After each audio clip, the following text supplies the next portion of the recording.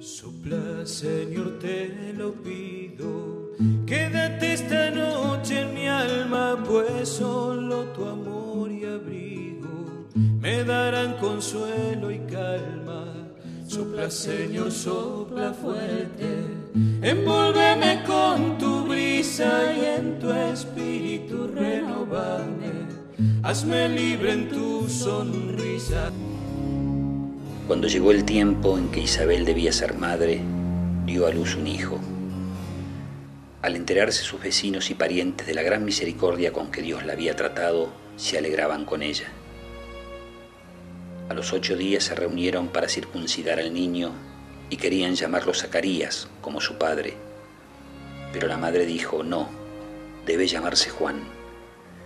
Ellos le decían, no hay nadie en tu familia que lleve ese nombre. Entonces preguntaron por señas al padre qué nombre quería que le pusieran. Este pidió una pizarra y escribió, su nombre es Juan. Todos quedaron admirados y en ese mismo momento Zacarías recuperó el habla y comenzó a alabar a Dios.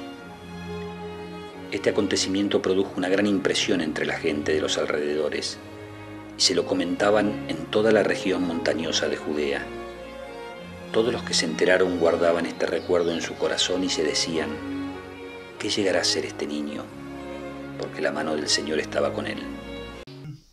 Después de leerlo varias veces, me quedaba pensando en, en, este, en el mensaje que tiene este texto, ¿no? donde habla mucho de, de nuestra misión como discípulos, como lo fue Juan el Bautista, de mm, ese don tan lindo que nosotros recibimos de la fe, y cuánto estamos haciendo nosotros por compartir ese, ese don tan valioso que nosotros recibimos.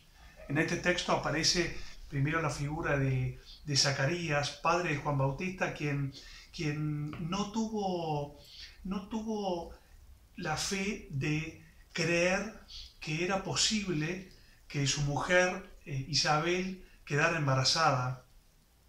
Y me hacía pensar, bueno, cuántas veces uno no tiene fe, ¿no? Uno pierde la esperanza, uno se pelea con Dios, uno cree que Dios no lo está escuchando. Y por otro lado, eh, Juan el Bautista con este ejemplo tan, tan grande de, de anunciar a Jesús en cada momento de su vida, ¿no? Y bueno, creo que la invitación a cada uno de nosotros, especialmente yo por lo menos lo siento a título personal, es eh, cuestionarme e interpelarme y decirme, bueno, ¿qué tan, qué tan discípulo estoy siendo yo de Jesús? ¿no? Eh, tantos dones recibidos, especialmente, como decía, el don de la fe, y hay mucha gente que nos rodea y que seguramente le vendría bárbaro que nosotros nos acercáramos y no solamente habláramos de Jesús, sino que descubrieran a Jesús en nuestras propias acciones. Entonces pensar tal vez hoy eh, qué estoy haciendo concretamente con, ese, don tan lindo que recibí. ¿no? ¿Estoy siendo coherente entre lo que digo y lo que hago yo como cristiano?